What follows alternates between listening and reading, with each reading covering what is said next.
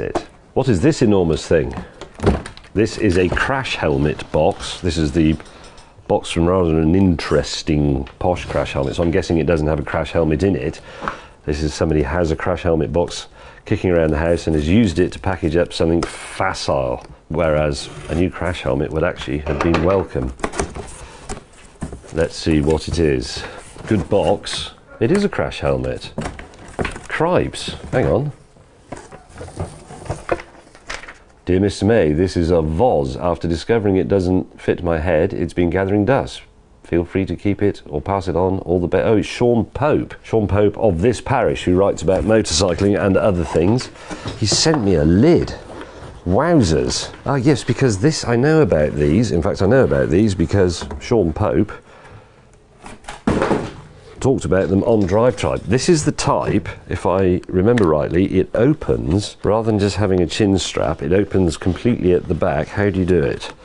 That's it. So it opens at the back, and I remember watching this. I bet it's too small because most crash helmets are. You put it on your face, and then you close the back. And it is. Sorry, how annoying is that? It's very slightly too small. I think. Let me just try that again though. Put it on.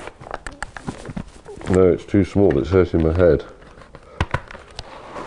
That is a great shame. I would like one of those. That's a Vozz helmet. We better get this right if we're going to give this away because these are many hundreds of pounds, if I remember correctly. Uh, the size is, I'm a 62. This is a large, 58 to 59 centimeters head.